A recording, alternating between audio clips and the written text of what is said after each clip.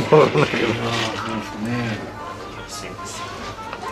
なんか食べてくださいね地球人に警告とかはしてないですか例えばそのよく東日本大震災の時にいっぱい UFO が上空に出てたとかって言うじゃないですか、そのなんか今後地球に人に対するこう宇宙人からこうこれやめとけよみたいなのとかっていうのを教えてくれたりもああまあだから核は絶対 NG っていうのやっぱそうなんだ核核。核。あの核。要するにかニュークリああアそっちの核。そうそうはいそう。核だけやめろっていう。苦手なメッセンジャーはいるんです出かてこないんだろう。苦手なメッセンジャー。要はその来てる人たちあ僕が苦手な。なるほど。ないですけどでマジそう友好的なんだ。基本的に意味があることを教えてくれる。長とかがあるじゃないですか、あこの人危ない人だなとかってはまあ言いますけどそうしたらもう関わらないああなるほど。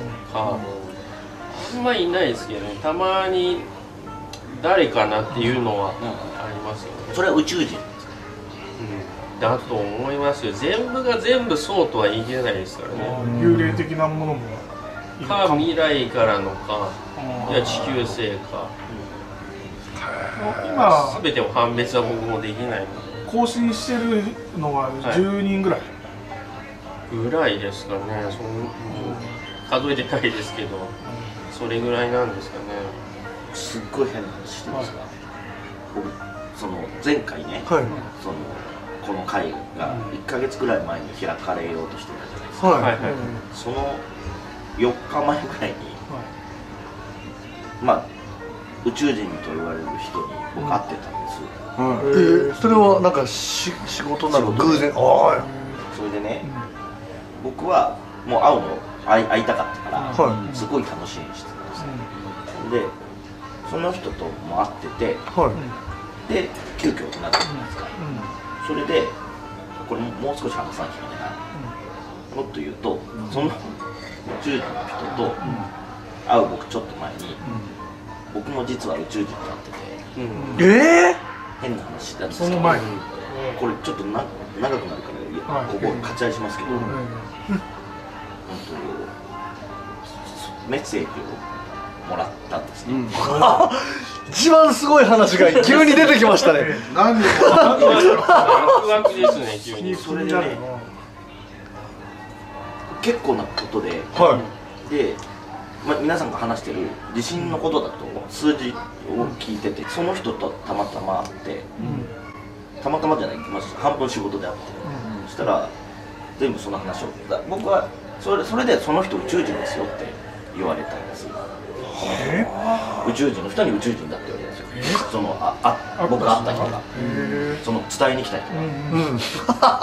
で僕はその後この話をしたかったんですよ、でもっと言うとその人連れてくるぐらいに聞いていたんですよ、あもっとタイミングが早ければ、うん。はいはい、一回リスケになっちゃいましたただそのその人は今いいるんでああ連れてくれば連れてこれるんだけど、うん。その僕が見てあ見て会った人が、はをの話をしたくてしたくて、えそしたら1ヶ月伸びたじゃないですか、はい。はで1ヶ月のことあってそれ以来その人来なくなった。んですよ。ー、え？だからさっきなんで波長の話をしたかというと、波長が合わない人ってその人なのかなと思ったんですよ。まあ右両性で 合わないように面白いななんかね。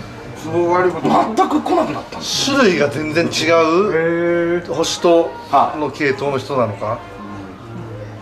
これ結構、結構リアルなことがあって、で僕会いたくて、むあっって思って、での宇宙人サミットだみたいな俺の中で思ってて、そしたらこの1ヶ月来てないんですよ。どどどこの系統の人なんですかそれは。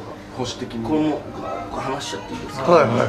僕そのまあそれこそちょっとそのオカルトなことをはい。ちょっと今企画してて、はい。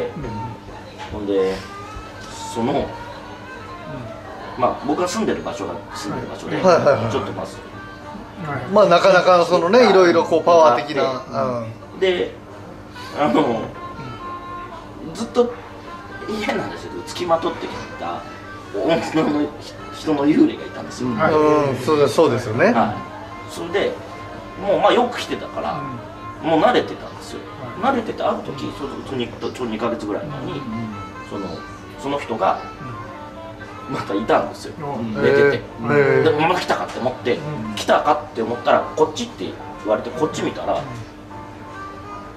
顔は日本人なんですけど、た多分日本人なんですよ。で金髪の人が来たんですよ。ええ金星人？わかんないけど。いやそれで金髪の人ででこれも変なんですけどもう言ってしまうけど僕がみその人に見せられたのは611っていうええ611ただ611って僕は頭の中ではそのイメージがしてるんだけど、それが数字かどうかがわからないんですよ。日付か。なんかなのかのマー思うんですよ。クなのかそれでもう金髪の人に絶対忘れろって言われたんですよ。ええそれ喋っちゃっていいこののかな。数字を絶対忘れろってでもれる。でもそれ言われたら絶対忘れないじゃないですか、でもず寝てる時もうん。61661ってずっと覚えては起きてその3日後にその人と会ったんですよ。別別個のその宇宙人とあねい宇宙人のね。ほいではい。会う時に「会ったろ?」って言われたんですよ。ええあったろそのえでどんなあこんなことがあったって話したらそのそれは宇宙人ですって、はいでそんなメメッセンジャーですよって。だから霊だと思ってたのが実際宇宙人だったんですね。言われて。なるほど。でこれをさっきもさんと同じ？立まあってて？どっちもまあエネルギー体っちゃエネルギー体だから、あのさっきおっしゃってた通りそのかその大きさとかっていうよりも、そのこの辺にいたんですよ。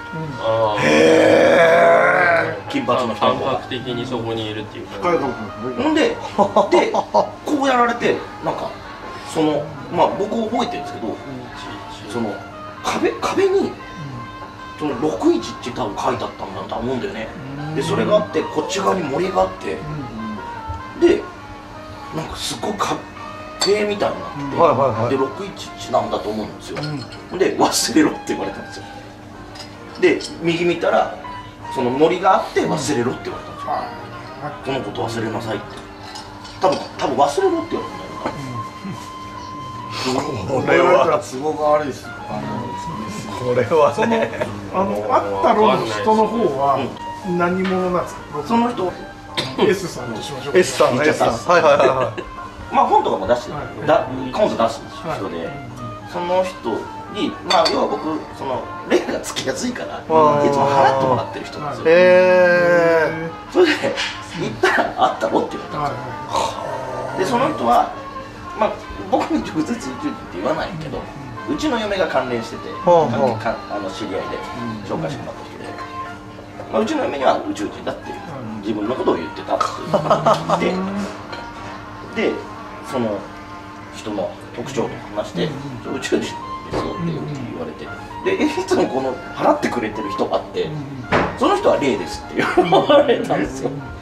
ー、なるほどねじゃあ別個なんですね。別個なんですね。そででもそいつがねこうやって連れてきたよって。だからやっぱ時空超えてるん。ですねそうですね。我々の思ってる頭の中での時間とかの概念っていうのは本来ちょっと違うもの。ただこう話す時にだから今日その話とかがしていいものかってちょっと思ってたんだけどでも今関連性とか聞いててちょっとどどんなものかが聞きたかったんでだからだから波長って聞いたのはその僕ダメな波長があるんですよ。タレントさんとかも合わないって。やっててもうあダメこいつだっていうのもある。へえあるんですよ。いや好き好みがこ好みとかじゃないんですよ、うん。ありますよね、あ確実敵対視してるってああまあなんかありますね。なんかわかる。うん。会った瞬間あないなっていう。的になんか悪意というか。合わねえなっていうありますあります。あります。あのその人がその別に普通に全然話しかけてくれるしそそんなことじゃないですよ。あ多少の好き嫌いのレベル超えてる。超えてるんですよ。これダメだ。前世でキャスティングしちゃダメだ。あったんじゃないかな。へえ飲み会1個組むのもそうですよね、あそことあそこはとかってあるじゃないですか、はいはいはいだからそれが今回うん。担当が違うのか。そう僕の会ったやつとは多分会っちゃいけない人なのかもしれない 一時期よく来てたんですよ。でその2か月ぐらい前ね。まあそのその件例の件があって、うん、でやつがそこからなんか友達感覚で連れてくんなよってちょっと思ったなるほど。でもそれから来てくれてて、で結構ラッキーなことばっかったんですよ。だから通っちゃいけないことは通んないっていうこととかでただ多分611だっと思うんですけど、611? なんかわかんないですけどね。まあで地震だったら地震だし富士山だったら富士山だけど。まあそ富士山。そんなに、うんその数字じゃないと思って611って言われたわけじゃないですよ。6月11日とも言われてないし見せられただけなんですよそのものを。6時11分。6時11分かもしれない。そんなことってあああるんですか？宇宙宇宙ひょっとしたら何かの座標かもしれないですよ。ねはなるほどなるほど宇宙では数字0から9までしかないんであうん11は多分ないと。あ思うへ6とえ1と1の何かの座標かもしれあない。面白いな。六本吉兆目キャバクラに行けってレッドドラゴン六本木一丁目だとどこなのテレ朝界隈じゃないですか？アクスタジオあたり。テレ東が六本木一丁目じゃないで。したっけそうそうそう面白いっすね。座標か。なんか秋山先生がそう言ったこと言ってたことあります。夢の中で数字をパッと見た時に座標入れるとなんかそこにドンピシャななんかことが出てくる時があるみたいな。数字ってやっぱりあの共通言語じゃないけどかなりあれなんですかね。その分かりやすいあコミュニケーションツールなんですかね。あの数字自体にそれそれ自体がエネルギー持ってるんで意味合いとか。あ種類と意味合いと。そこら辺は共通してると思う、ああでもそれは数字って何であるとですよね。絶対宇宙に確かに数字というものなのか数というものなのか、また違った意味合いで使ってるのかわかんないですけど。好きな数字ってパッてなんかあります？あやっぱあの僕全然違う。1から9までなんか全部数字のキャラクターがあります。あだから数字って俺すげえ覚えちゃうんですよ電話番号とかも。なんか。だけど人の顔は全然覚えられないんですよ。わかる音楽の音も究極数学って言いますああよねそうですよね。音が聞かれると。な何が好きですか？全然あの答え合わせとかなくて。あだから昔好きな数字が2番だったんですよ。へえそれがだんだん年を追うごとに年齢で変わりますよね。全部の数字になんかあここがいいから別にこれでもいいかみたいな感じでだんだん好きになっていったみたいなえ。6が異常に落ち着くんですよね。はなんかあります？全然答え合わせとか全くないですよ。ないっす年齢年齢によって全然変わってきます。そうそうええ。ー、戸田さんあります。時間が経ってきたらだんだん。9そうそうそう。9は結構カルトと縁があるとかって言いますよね。俺20代全開で7でした。わー77イケイケって言いますよね。20代の時はへえ。戦車。タロットのタロットの番号に置き換えると。はいはいは僕も9なんですよ。カルトああなだ。るほど目に見えないものだ。9ってでも週末のエネルギーを持ってる破壊。あ最高でありこの世の現世の最高であり週末でもあるってことですよね。そうですね。78あたりがマックスでそこから破壊に向かっていって、まあ、0から始まって9まで行ってまだ0で戻って中国ってあの末尾9がつく年って必ず荒れるって言いますよね。ああのやっぱり道教の教えだけど極まって元に戻っちゃうっていうか。あ天安門。あ全部見ていくと確か9が末尾の時はもうえらいこと起きてるんですよ。法輪功の弾圧もそうだし、まあ、共産党関係のこともそうだと思うんですけど。あれでもキム・ジョンのお父さんは Q が好きなんじゃないでしたっあそうなんですけか Q の日になんかジョンイル？ジョンイルは Q の時になんかいろいろミサイル撃ったりなんかそのあーじゃあ中国と関係あるのかもしれないですね。言ってた言ってた。この間また打ちましたよね。なんかそうまた。昨日か昨日かなんか。うんお怒ってましたよね今とりあえずは。とりあえず。バイデンは怒ってない。バイデン怒ってないから怒ってるんですよ。いやいやいやいやでもいうのをくれたっていうなんかタラップで3回ぐらいこけてる映像出てますね。もうなんかもうかわいそうになっていやあれどうなってんすかね。ね。俺トランプさんもう独立で作ってんじゃないかなって思うんだけども。何の情報がフェイクか。はい。やもう分かんないですねやばいこれ。ちょっとあれがなくなってきてるな。電電池池が。電池がバッテリーがなくなってきてる。でも相当回したんじゃないかな。回しました。ね